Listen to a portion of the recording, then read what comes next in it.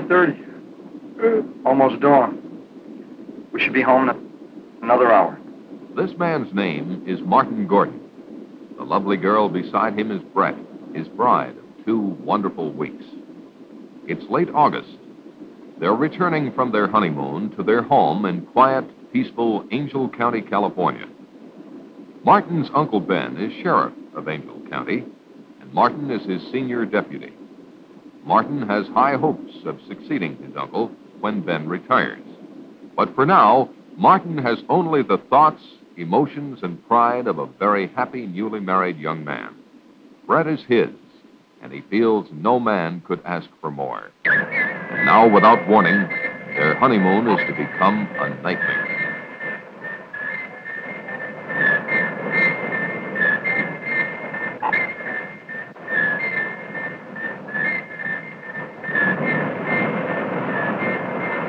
Neither Martin nor Brett saw the glowing rocket descend in the early morning sky. It was reported to the sheriff's office by Jeff, the county forest ranger. Jeff reported to Sheriff Ben that a plane had crashed near Willow Creek and that he was going out to investigate. Ben said he would join him as soon as possible. Barney, Ben's junior deputy, was to summon medical aid and to see if he could rouse someone at the Air Authority in San Francisco.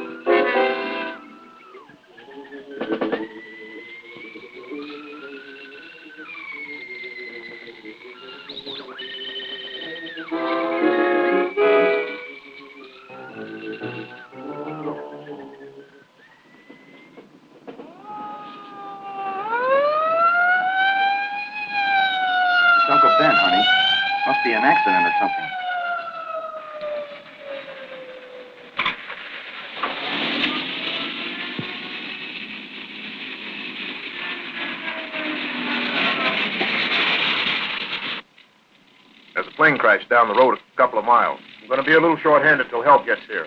Go around back of me.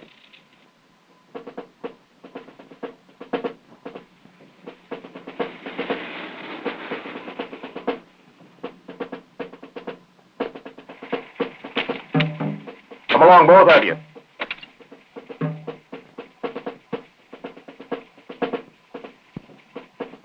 Get in, honey.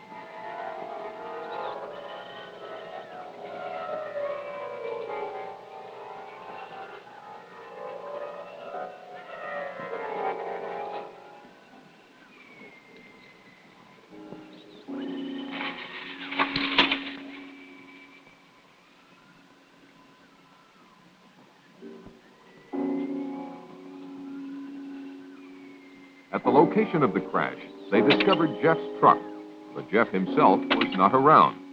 They proceeded with their investigation.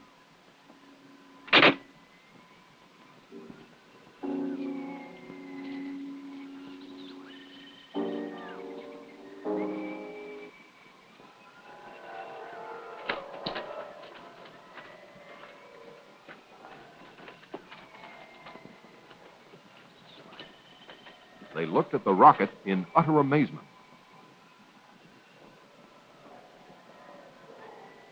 A puzzled Ben finally asked Martin what he made of the craft. It's no airplane. Could be one of our missiles. Or one of theirs. You could be right, honey. Don't think we have anything this big.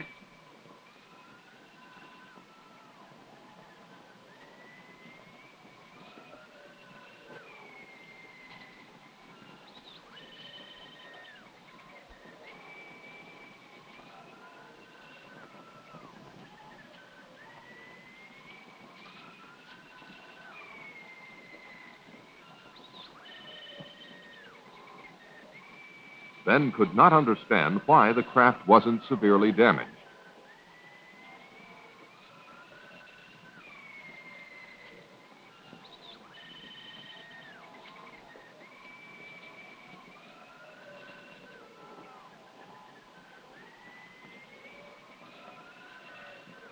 This hat belongs to Jeff Peters. Jeff! Jeff! Jeff, are you in there? Martin, go back to my car and get my flashlight.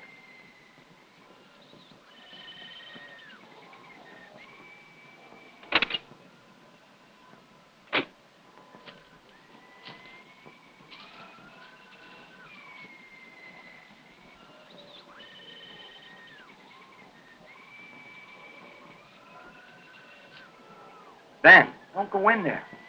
You don't know what's in there. I think I hear him moving inside. Maybe he's hurt.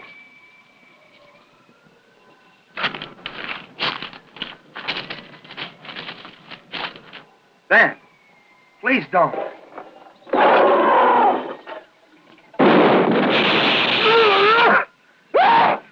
Ben.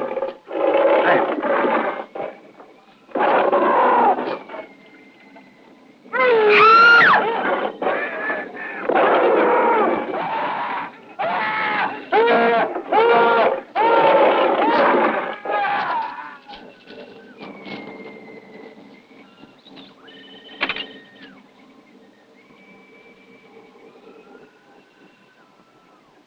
Car one, calling in. Car one, calling in.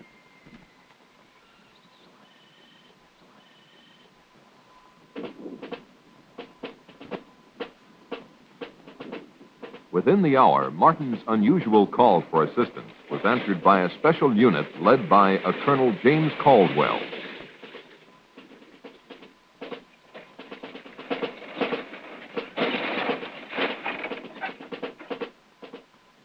Let's get going.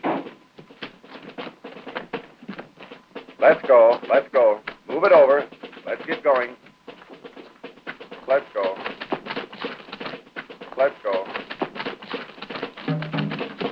All right, back on the truck. Let's go.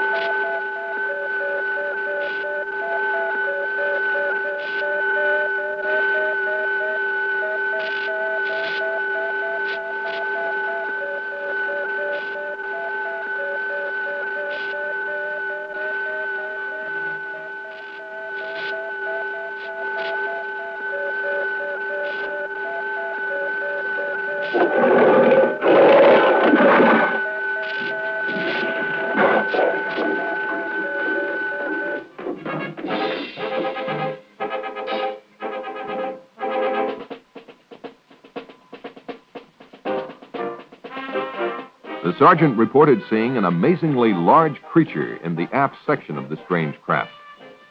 He further reported that it was secured by a kind of metal harness, but that the creature could still move around somewhat, and for that reason they had not gotten too close to it.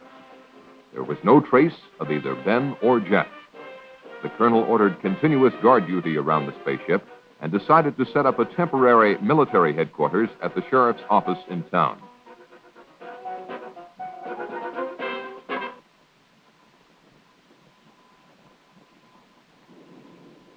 By the next day, Colonel Caldwell had the situation well in hand. He had called Washington and received his orders from the highest possible authority.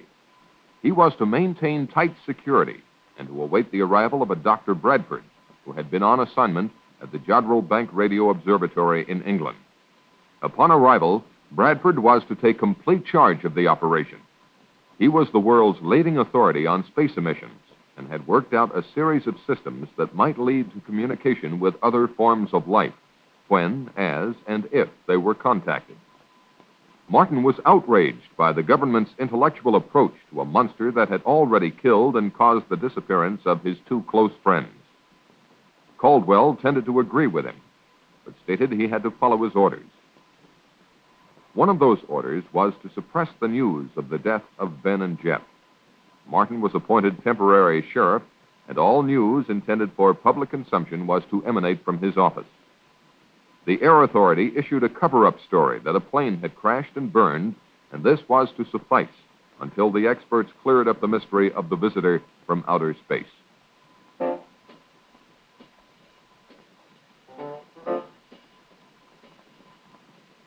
In a remote section of the county, the first of a series of tragedies took place. Tragedies that would have been avoided had the public been warned.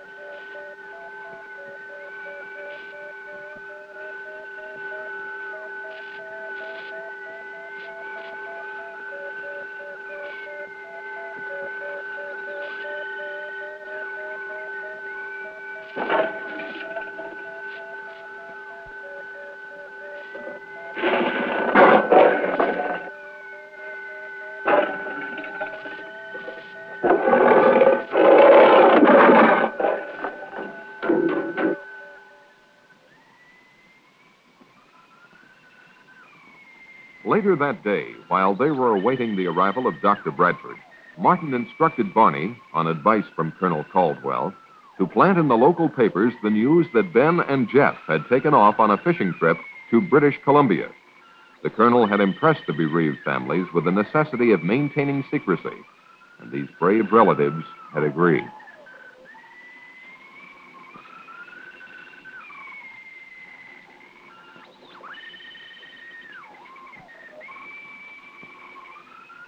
Despite Brett's inquiries about what Martin had seen in the spacecraft, he avoided specific details for fear of disturbing her more than she was. If the truth were known, Martin was more than a little disturbed himself. Shortly thereafter, Dr. Bradford arrived. He was a much younger man than one would imagine him to be. Martin, I'd like for you to meet Dr. Bradford. I've heard a lot about you from the colonel. Nothing bad, I trust. Martin and his wife were in the original party that found the fallen craft. I was sorry to hear about your uncle. It's a tough break. I hope you're feeling better. Yes, thank you. A couple hours of sleep did a world of good. Bradford thanked the colonel for his assistance and then asked to speak to Martin. Bradford questioned Martin about everything that had transpired. Martin did his best to recall everything in precise detail, but really didn't have much for him. The two soldiers that entered the rocket earlier had been summoned, and Bradford hoped to learn more from them. The doctor himself would not enter the rocket until the arrival of certain equipment. From his discussion, it was apparent that the doctor considered this situation a magnificent opportunity for mankind. He felt that if he could communicate with the creature, it might be possible to advance human knowledge by years or even centuries. The spaceship alone signified an intellectual development far in advance of anything on Earth. When Martin asked him how he intended to protect himself from the creature, Bradford said not to worry, that he hadn't come here to be victimized either by his own or the creature's fears.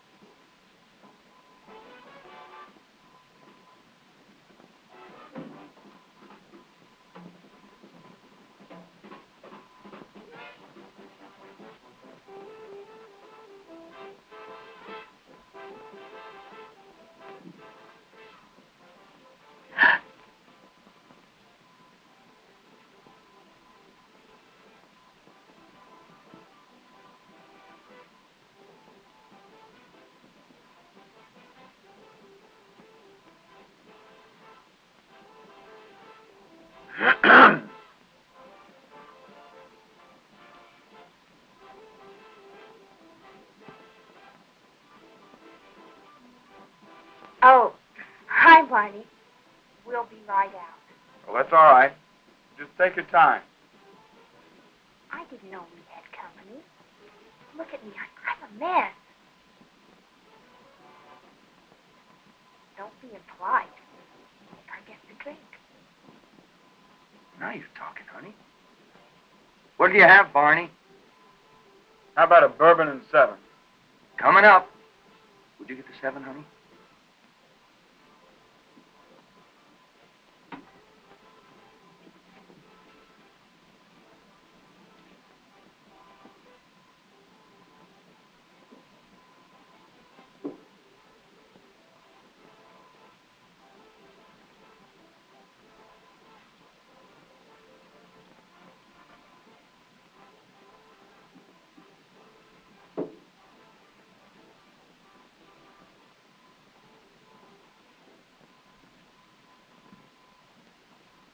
Barney, you should try marriage. It would do wonders for you. Barney and Martin had been bachelor buddies for years, but now that Martin was settling down to marriage, they were slowly drifting apart. Barney, naturally, was still dating all the girls in town, and he couldn't understand why Brett and Martin didn't pal around with him more than they did. He couldn't comprehend that married life brought with it not only new problems and duties, but the necessary togetherness of husband and wife as well. Despite Brett's most tactful considerations, such as inviting him over to dinner quite often, Barney was growing resentful of her, or at least she felt that he was. Since time began, this change in relationship has probably happened to all buddies in similar circumstances. Life has its way of making boys grow up, and with marriage, Martin's time had come. His life was now Brett, a life that he thoroughly enjoyed.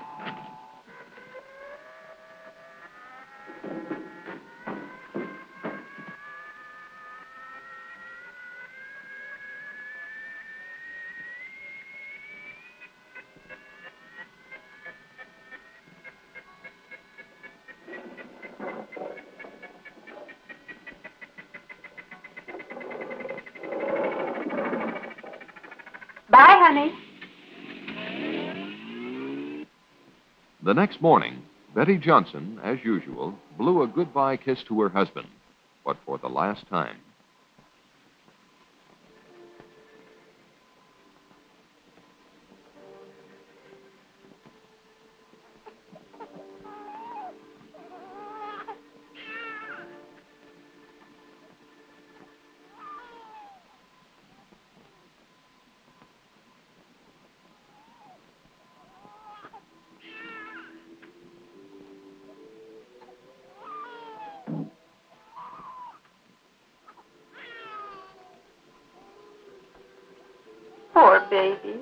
Let Mommy take your temperature.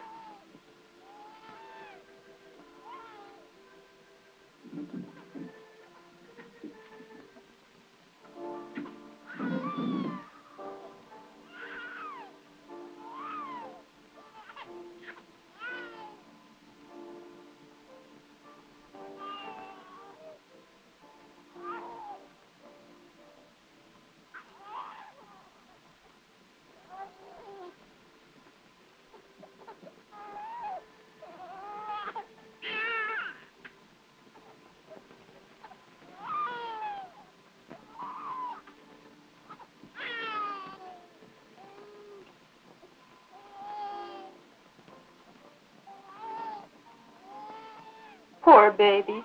You'll feel better soon.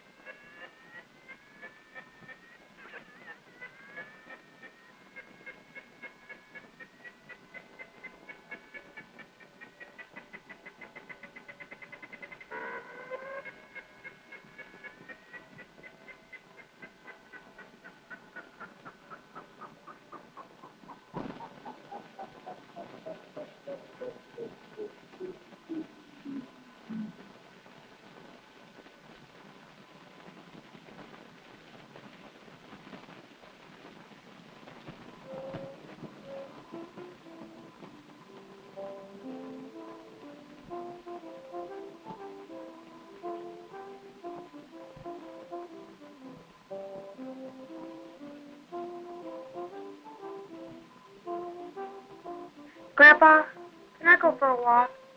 All right, but stay close by.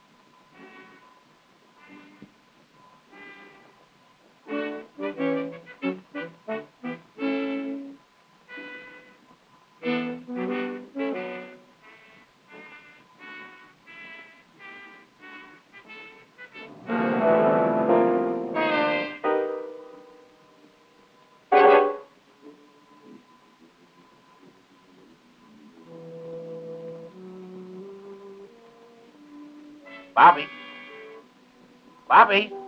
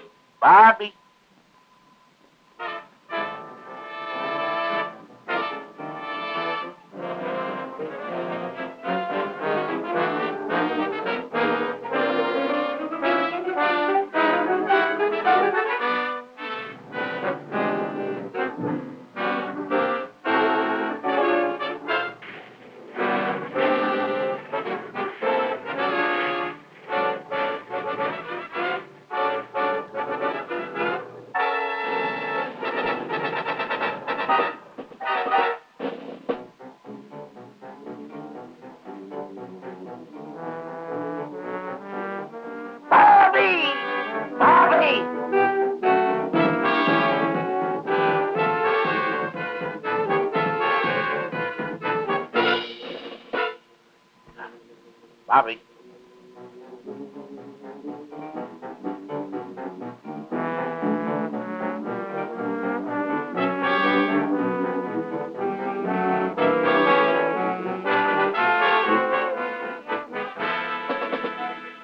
Bobby.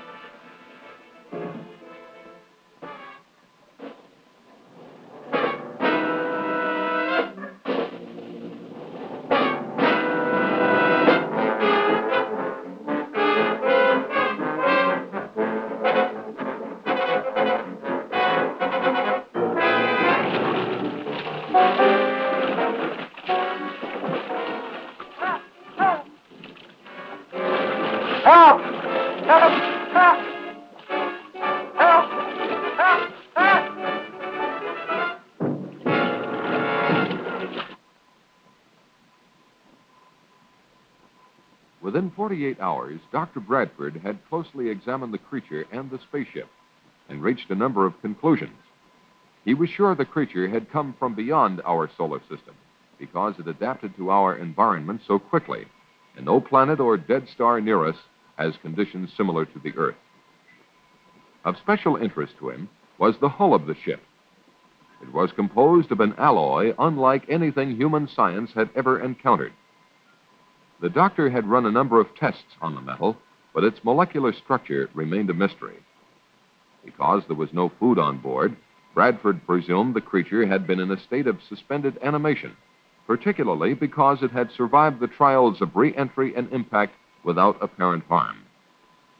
So far, he had no success in communicating with it, but he had not yet exhausted all possibilities. On a more subjective basis, he had the curious feeling that the creature did not want to communicate with him. Such a confession on the part of this eminent scientist made Martin feel quite apprehensive.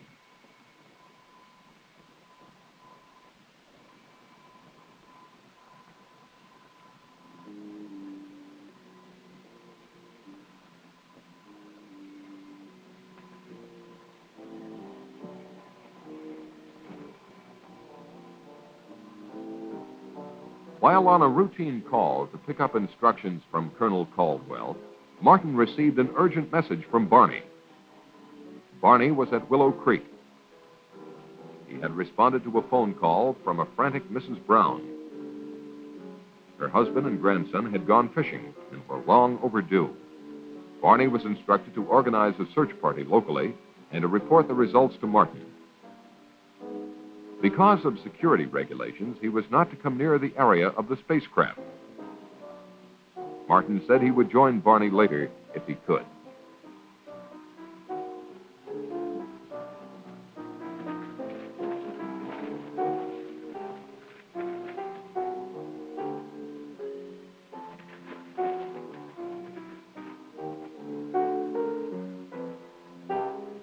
Acting on a hunch, Martin decided to see for himself if the monster was still there. It was. Bradford had installed TV cameras inside the spaceship and was testing the creature's reactions to sound, light, electricity, color, and air pressure. When Martin asked him if he had any luck in communicating with the beast, Bradford confessed that he hadn't, but would try again when certain data was returned to him from computer processing. It was at this time that Bradford came up with a frightening theory namely, that the creature might be a product of engineering, the same engineering that built the spaceship. What he didn't understand was why some form of communication had not been built into the creature. When Martin asked him if this weren't something to worry about, Bradford said no. It was probably his own failing at not being able to establish communications. It seemed to Martin that if Bradford's theory were correct, humanity might be in grave danger. Bradford dismissed Martin's fears by pointing out that the creature was not exhibiting any signs of violence, and besides, it was firmly secured by the harness. That afternoon in Moncrief Park, a group of neighbors got together for a hootenanny. Oh, she left me sad, but still I am happy. In fact, I am glad, for I am as free as that bird in the tree. Cause she left me alone and could not marry me. I said that I loved her and would till I died. I tried to forget her, and I really did try, but I'll still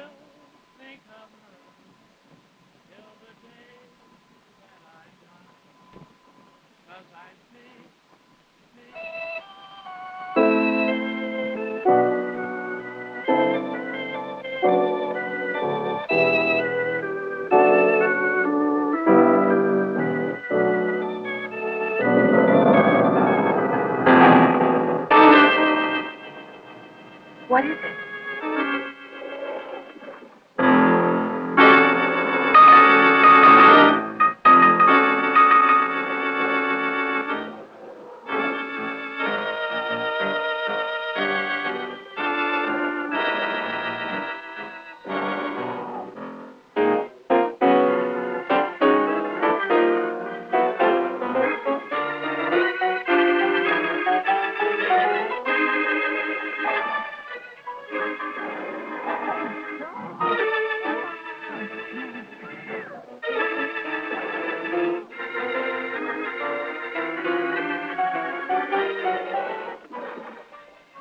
Stay there.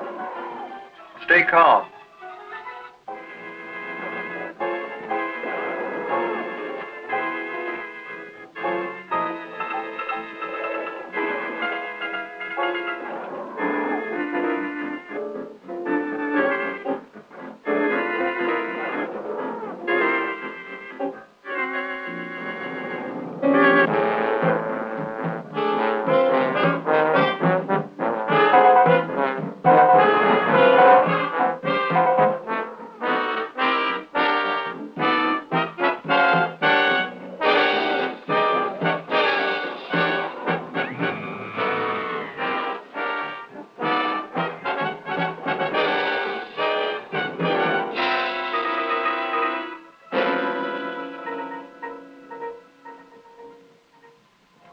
In response to a multiple missing persons report, Martin and Barney searched the countryside for the group of picnickers. The only trace they found of them was the remains of a guitar one of them carried. This wholesale disappearance of a large group of people, coupled with earlier missing persons reports, led Martin to only one conclusion. There must be another monster, and it was on the loose.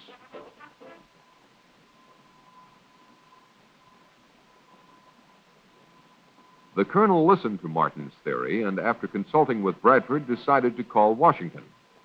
He was told to follow his own good judgment, but under no circumstances was he to alarm the populace. The colonel decided to organize a county-wide search. Martin's assignment was to search the north end of the county.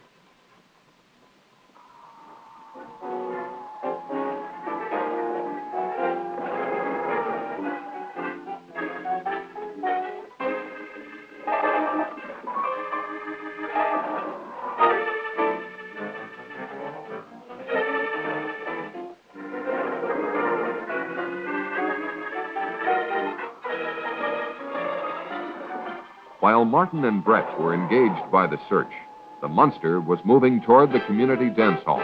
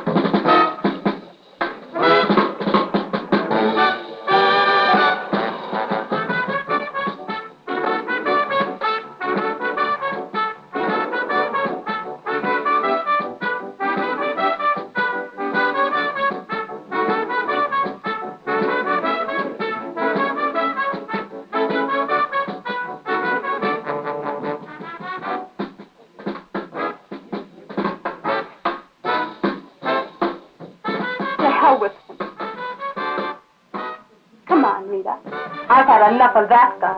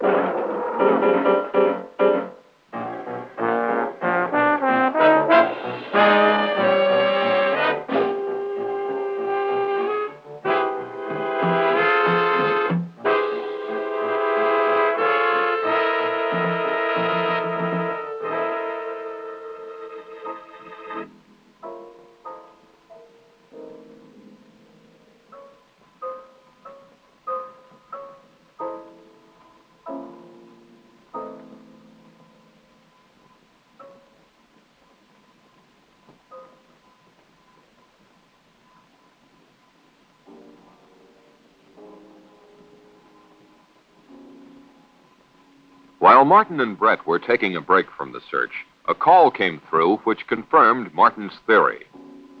Colonel Caldwell told them of the monster's attack at the dance hall. His troops now had orders to destroy the monster, and he asked for Martin's assistance. Martin said he would join the colonel as quickly as possible.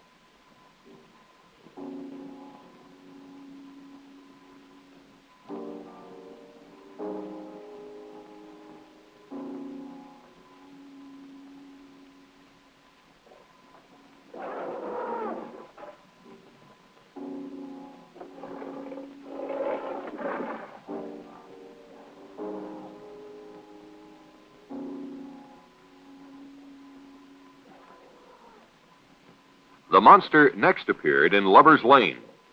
Anyone who experienced that catastrophe and survived would never go there again.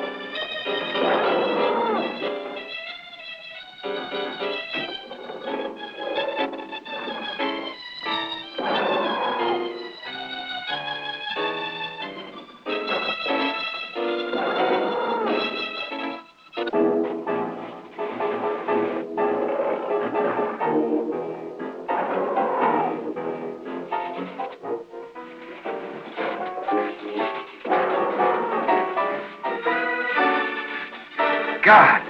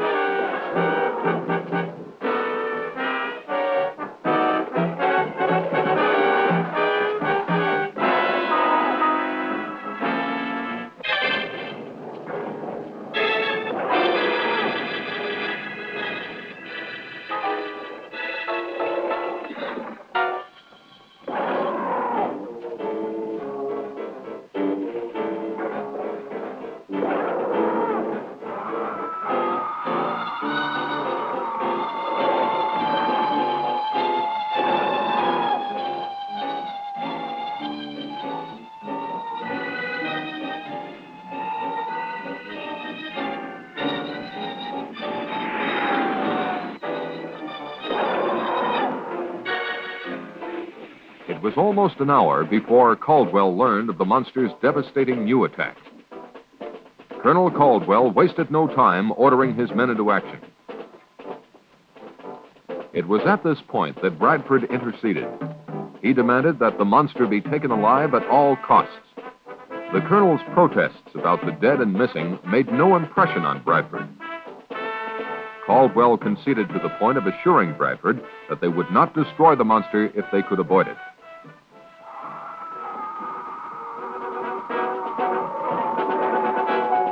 Get on with it, Lieutenant. Pull it out, men.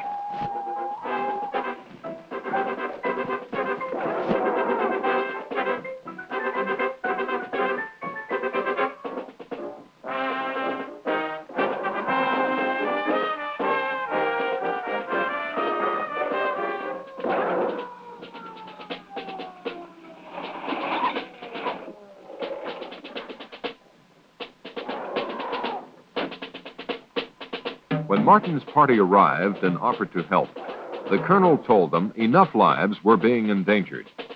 They were to be part of the second line of defense, to be used only if necessary.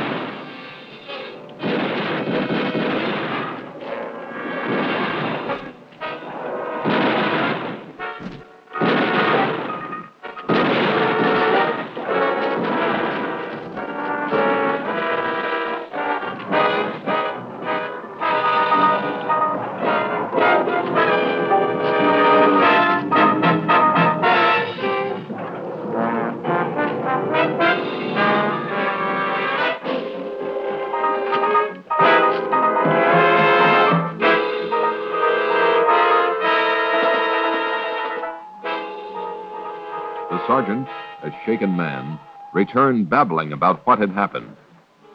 Caldwell, realizing the full danger of the situation, decided he had only one means left to stop the monster grenades. Now Bradford made a drastic move. Acting on his superior authority, he forbade Caldwell to destroy the creature. The colonel, more concerned with saving human lives than advancing science, told Bradford to go to hell. Get out of my way.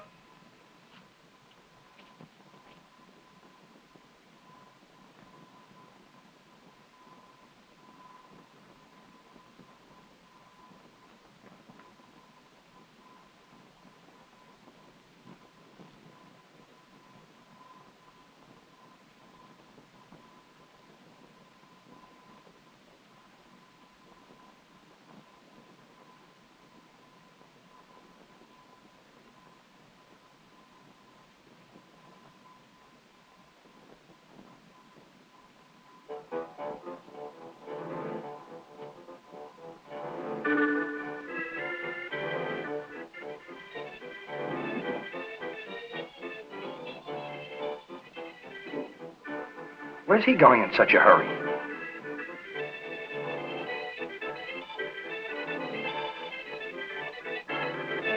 Maybe you'd better follow him. He may need help.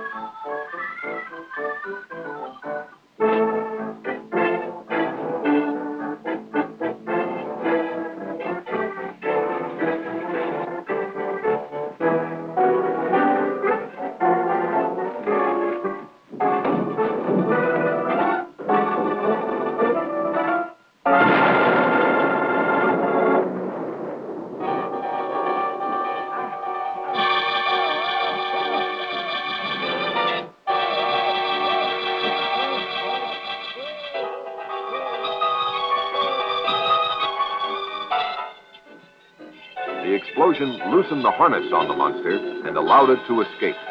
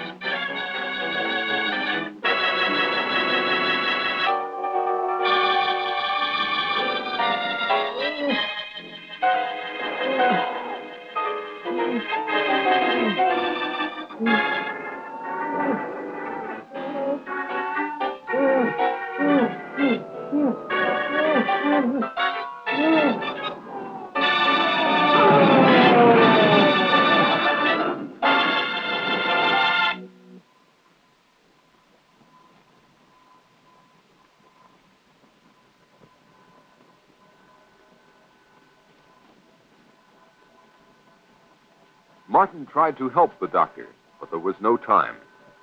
Bradford told Martin what he had just confirmed that these monsters were highly specialized test animals.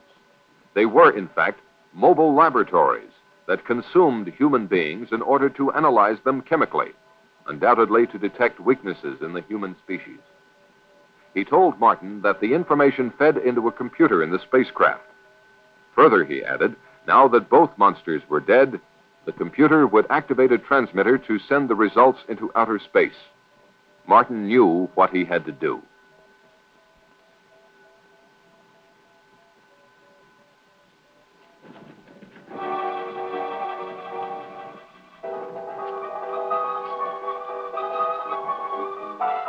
As Martin entered the spaceship, he heard the transmitter generator kick on.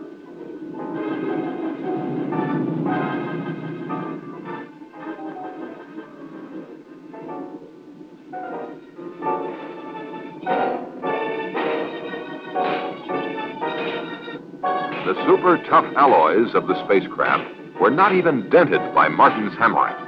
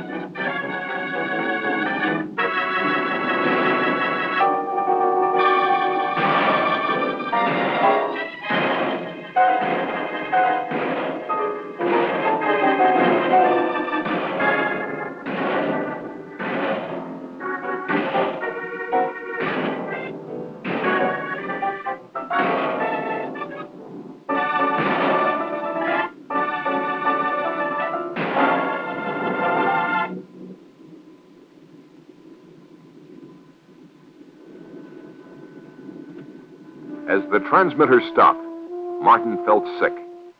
Evidently, all the information had been transmitted.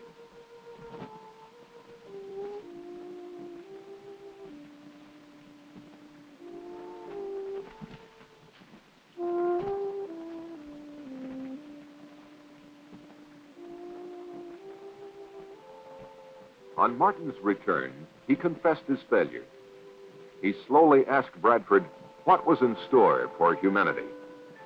Bradford was pessimistic, but implied that maybe all was not lost. After all, he told them, the vastness of the universe is incredible. If these monsters had come from its outer limits, their home might even no longer exist. Or if they do come again, perhaps man will have advanced enough to cope with them and those who made them. Only God knows for sure were Bradford's last words to anyone on this earth.